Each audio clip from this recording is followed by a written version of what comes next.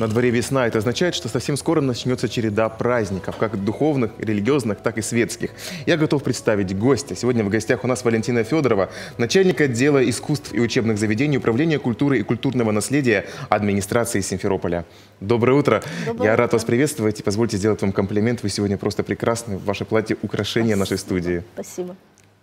Ну, рассказывайте, как началось ваше утро? Вы уже готовитесь к Масленице? Конечно, конечно. Утро, даже несмотря на то, что оно пасмурное, оно все равно в душе уже э, говорит о том, что скоро будет праздник. Но праздник не только Масленицы, вот эм, совсем скоро вот была э, реклама о том, что будет у нас День защитника Отечества. Я хотела бы поздравить э, всех мужчин с этим замечательным праздником, пожелать им здоровья творчества, счастья, вдохновения и, конечно же, удачных, незабываемых выходных. Ну а с 24 февраля уже начинается Масленица, то есть недельная праздничная программа. В городе Симферополе э, в это время будут проходить мероприятия но по учреждениям культуры и образования. Это готовят все, готовятся и ждут этого замечательного праздника. Ну а кульминация – это, конечно, последний день, когда мы будем проводить праздник в городе.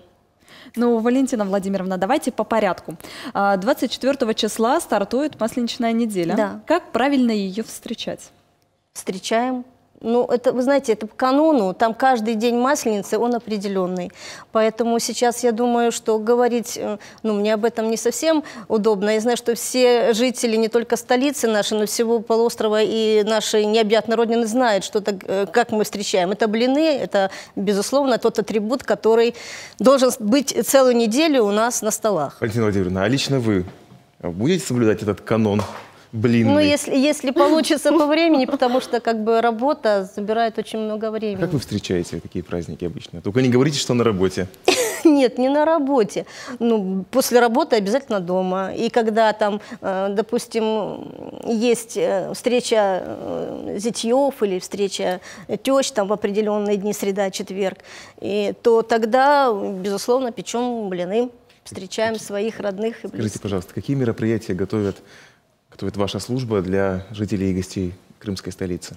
Ну вот в эту неделю только по учреждениям будут проходить мероприятия. А что будет ну, различные посиделки, встречи, вот как раз вот с, э, с атрибутом блинами, где будут встречаться знакомые люди, проводить в библиотеках огромное число мероприятий пройдет в, этот, в эту неделю. Ну, смотрите, яркая, так скажем, вишенка на торте – это будет воскресенье. Конечно, да. Воскресенье. Расскажите, куда идти, кто может приходить и как одеваться, что с собой взять? С собой брать, конечно же, хорошее настроение. Мы всех приглашаем. Э, уже традиционно у нас есть сквер Тренева. Это уютный сквер, в котором эм, э, проходит, как обычно, наше праздничное мероприятие, последнее прощенное воскресенье. В этот день у нас огромное количество мероприятий проходит вот это на этой площадке локальной. Там будет стоять большая сцена. На этой сцене будет проходить театрализованное представление. Оно называется «Однажды на Масленице». Это представление готовят э, лучшие творческие коллективы Симферополя, культурно-досуговые центры. Кроме этого, у нас э, на этой же площадке будут проходить выставки, будут проходить декоративно-прикладного, будут э, выставляться картины художников, будут представлены работы не только детей, допустим, школы искусств или художественной, но и преподавателей. Кроме этого, на этой же площади, на этом, в этом сквере гостей и симферопольцев будут встречать скоморохи, будут встречать ростовые куклы, будут проведены мастер-классы, анимационные программы с 12 до часу. Вообще программа начинается э, с 12 и где-то до 5, может быть, там будем смотреть, как получится, как народ будет веселиться.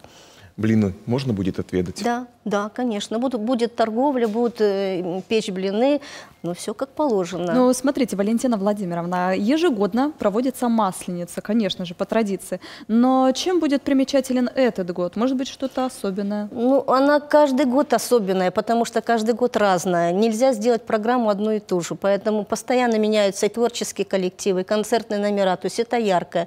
Ну, у нас по традиции мы любим смотреть не только концертные номера, мы любим смотреть э, соревнования. У нас э, в этом году будет точно так же представлено э, э, управление спорта и молодежи, будет показывать свои боевые искусства, будут показывать спортсмены свое мастерство, богат- богатырские игры, будут конкурсы, очень много будет конкурсов, будет много подарков.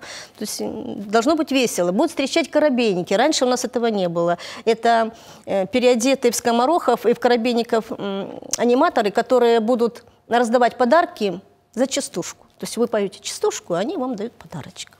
Прекрасно. Мы с Антониной обязательно присоединимся. Буду рада. А, вопрос такой, де- деликатный, скажем. Поделитесь каким- каким-нибудь, может, авторским рецептом блина?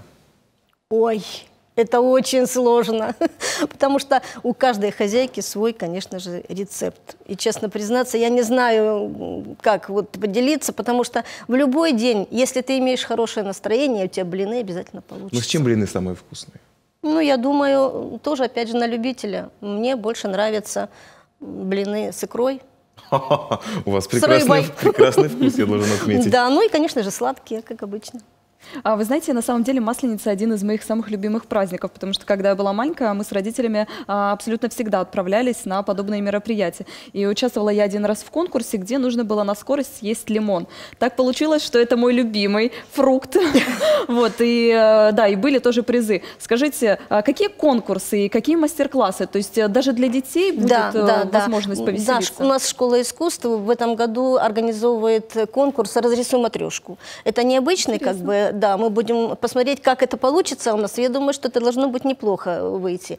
Кроме этого, у нас будут конкурсы и на быстроту заплетения косы, и поедание блинов, и бои там мешками. То есть, ну, мы работаем, чтобы это было интересно. В общем, весело будет. К сожалению, время подходит к концу. Я прошу вас напоследок еще раз, э, так сказать, четко, лапидарно сказать, куда, во сколько приходить за блинами. Уважаемые симферопольцы и гости столицы, мы ждем вас 1 марта в сквере Тренева с 12 часов на празднике проводов Маш- Масленицы, потому что кульминация этого праздника будет, конечно, сжигание чучела. Это обычно ну, всегда яркое такое мероприятие, яркое такое впечатление остается. Жители остаются до конца и ждут, когда это все это чудо случится, и тогда со спокойной душой можно приступать дальше к трудовой неделе. Большое спасибо, что вы пришли к нам в гости. Напоминаю, в гостях сегодня в утре нового дня Валентина Федорова, начальник отдела искусств и учебных заведений Управления культуры и культурного наследия администрации Симферополя. Спасибо вам, что вы у нас в гостях.